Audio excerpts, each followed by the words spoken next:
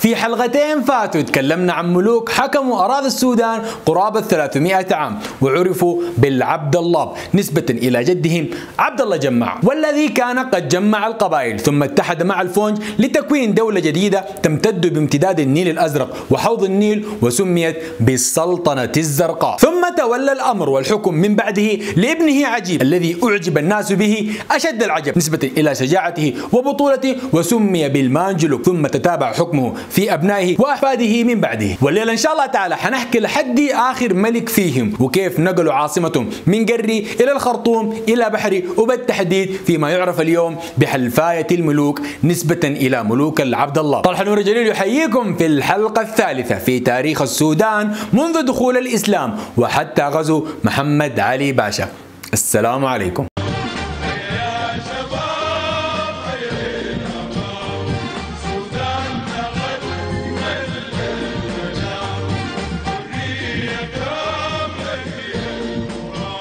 وتوقفنا في الحلقة اللي فاتت عند الملك عجيب الملقب بعجيب الثالث ابن محمد العقيل ابن عجيب المانجلوك ابن الشيخ عبد الله جماع. واستمر حكمه قرابة 15 سنة إلى أن مات ودفن بقري ليحكم بعده مانجل آخر وهو ابنه بادي ابن عجيب ابن محمد العقيل ابن عجيب المانجلوك. حكم أربع سنوات عم فيها الخير والسلام والأمان.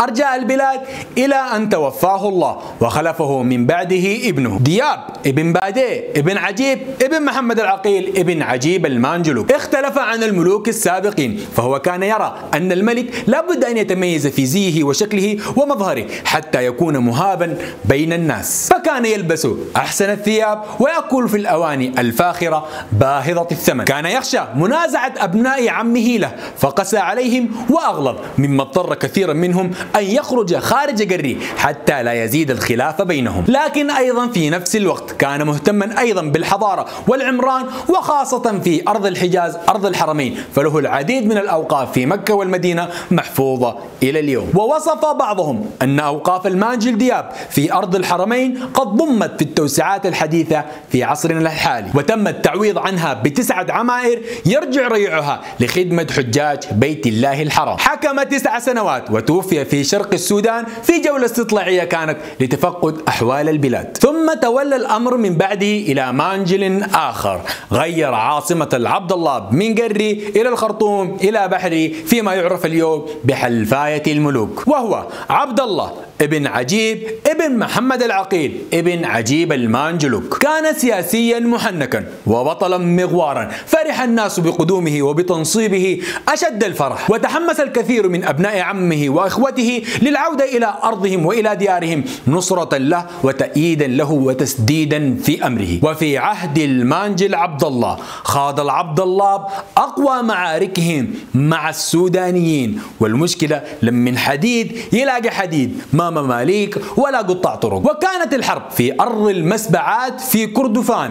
العبد الله من طرف وفي الطرف الآخر سلطنة دارفور. ليتحرك جيش قوي من حلفاية الملوك. يقودهم الملك عبد الله بنفسه. وفي الميمنة أخوه شمام. وفي الميسرة ابن شمام. محمد العقيل ابن شمام. ويتحرك ذلك الجيش نحو أرض كردفان لمقاتلة سلطنة دارفور. ويجعل نائبه على حلفاية الملوك ابنه مسمار. ويمضي ذلك الجيش نحو القتال. كانت الحرب ضروس جدا اشتد فيها القتال ودام فيها أكثر من عدة سنوات. وكانت الحرب سجال بينهم وبين الفور إلى أن قام الفور بخطة عسكرية لاستدراجهم إلى أرض ومنطقة قد دفنوا آبارها. فدخل جيش العبد الله بتلك الأرض القاحلة فعطش الجيش وضعفوا في أمرهم. واصطدم الجيشان في هجمة قوية فوراوية استشهد على أثرها الملك عبد الله ثم يحمل الراية من بعده أخوه شمام ابن عجيب الثالث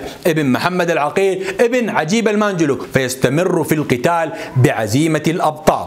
لكن قلة الزاد وقلة الماء وضعف الجيش أدى إلى وصول الفور مرة أخرى إلى الملك شمام ليمضي شهيدا إلى ربه. لتأتي الراية من بعدها إلى محمد العقيل ابن شمام الذي كان استلمها بعد أن توفي أبوه وعمه. ليتولى الأمر محمد العقيل ويسحب الجيش لإعادة الترتيب والتنظيم ويستطيع أن يوقف زحف الفور. لكن جيش دارفور كان قد وصلهم المدد من العربان وممن كان حولهم في المنطقة فاستطاعوا أن ينقلبوا عليهم بهجمة شرسة توفي على أثرها محمد العقيل ابن شمام وبذلك تخضع كردفان إلى سلطنة دارفور. لتصل الأخبار تباعا إلى حلفاية الملوك الذي كان نائبهم وحاكمهم في تلك الفترة مسمار ابن الملك عبد الله لتصله الأخبار أنه قد مات أبوه الملك عبد الله ثم من بعده أنه قد مات عمه الملك شمام ثم من بعده أنه قد مات ابن عمه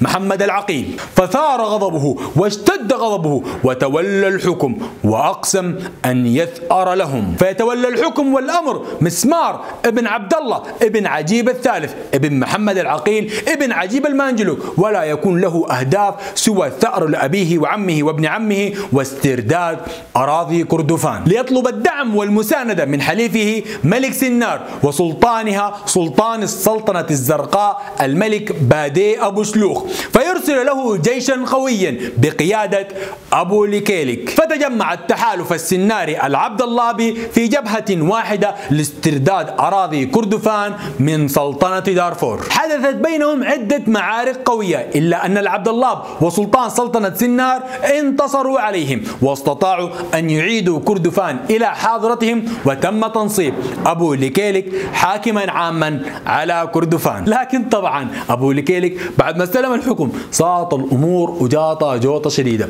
ودي أحداث مهمة لازم نتكلم عنها إن شاء الله تعالى وحتكون في حلقات مملكة سنار وسلاطين الفونج. ليستمر حكم الملك مسمار خمس سنوات إلى أن توفاه الله ويدفن في حلفاية الملوك. ليتولى الأمر والحكم من بعده إلى ناصر ابن شمام ابن عجيب ابن محمد العقيل ابن عجيب المانجلوك. كان من ضمن الحكام القساة الغليظين على شعبه وأبناء عمومته لم يطقه الناس مما اضطرهم إلى استدعاء مجلس الحل والعقد لينفذ القرار فيه. لينتهي ذلك المجلس والاجتماع بعزله ويخرج من حلفاية الملوك ويستقر في قرية أم طلحة قريب سنار بعد حكم دام ثماني سنوات. وبقرار ذلك المجلس نفسه تم تنصيب عجيب الرابع ابن عبد الله ابن عجيب الثالث ابن محمد العقيل ابن عجيب المانجلو لقبوه بعجيب الفيل. نسبة لأنه جسمه كان عريض جدا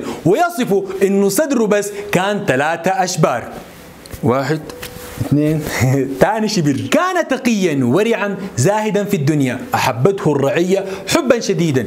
استمر حكمه قرابة عشرين عام وتوفي بأراضي شرق السودان. ويتولى الأمر والحكم من بعده إلى أخوه عمر ابن عبد الله ابن عجيب ابن محمد العقيل ابن عجيب المانجلوك. لم يستمر حكمه أكثر من سنتين. فبعد أن عاد القائد البطل الشيخ الأمين ابن مسمار كانت كافية ليتنحى هو عن الحكم ويتولى الشيخ الأمين الأمر من بعده. ليتولى الأمر الشيخ الأمين ابن مسمار ابن عبد الله ابن عجيب ابن محمد العقيل ابن عجيب المانجلوك. كان قويا بطلا مغوارا ضربت به الأمثال في الكر والفر وشجاعته. استعان به الفونج لصد ودحر العديد من الهجمات والثورات. حكم إلى أن توفاه الله وخلفه من بعده عبد الله الرابع ابن عجيب الفيل ابن عبد الله ابن عجيب ابن محمد العقيل. ابن عجيب المانجلوك كانت الخلافات في عهده قد زادت وتفاقمت مما أدى إلى ضعفهم وتفككهم خصوصا مع أبناء الشيخ الأمين مسمار. ورغم سيطرة المانجل عبد الله على الوضع إلا أنه وبعد سبع سنوات استطاع أبناء الشيخ الأمين مسمار أن ينتزعوا الحكم منه وأن ينتهي الأمر بمقتله. ليتولى الأمر الشيخ ناصر الأمين ابن مسمار ابن عبد الله ابن عجيب الثالث ابن محمد العقيل ابن عجيب المانجلوك. آخر ملوك العبد الله حكام حلفاية الملوك وكان ذلك التنصيب في عام 1797 واستمر حكمه حوالي 25 سنة وانتهى باحتلال محمد علي باشا. إلى أراضي السودان وإلى حلفاية الملوك عن طريق ابنه وقائده إسماعيل باشا. دام حكم العبد الله حوالي 300 سنة وكانت أوج قوتهم وانتصاراتهم حينما كانوا مجتمعين ومتوحدين فيما بينهم ومع قبائل السودان. بداية من جدهم الأكبر عبد الله جمع الذي جمع قبائل السودان. وزادت قوتهم أكثر حينما تمسكوا بالإسلام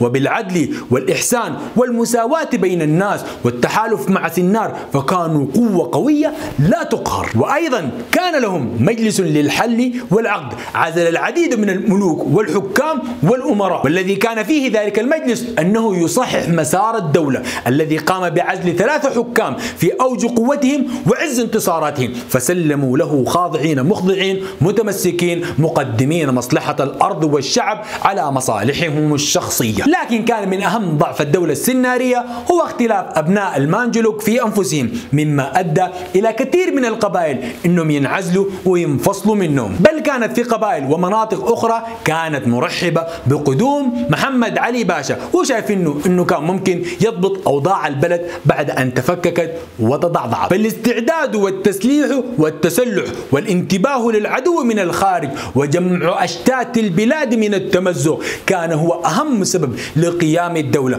وأول ما فقدناها كان الغزو ساهل علينا وكنا لغمة سائغة في أيدي المحتل. وبالحالة دي لم يكن السودان قد تم استعماره أبدا في أي عهد وفي أي زمان. وحنستمر في الحلقات وحنحكي القصص وحنحكي كل الأجيال وحنحكي كل الممالك وكل القرى الذين دافعوا عن السودان ودافعوا عن أراضيه فيكون السودان أرض عريقة تجمع جميع الأجناس جميعا تحت راية إسلام ودين واحد وقبلة واحدة. لكن بفضل الله وحمده سنحافظ على هذا الإرث وعلى هذا الأثر جيلا بعد جيل لنحكيه ويتعلمه أبناؤنا من بعدنا. وحتى يدرس في جميع المدارس والجامعات. ويكون مثالا للتلاحم والإلفة بين أبناء السودان. سعيد جدا بالناس الدعموني وكانوا لي خير معين بعد الله عز وجل. وألف شكر لهم وإن شاء الله تعالى حتكون حلقاتنا مستمرة في تاريخ السودان منذ دخول الإسلام وحتى غزو محمد علي باشا.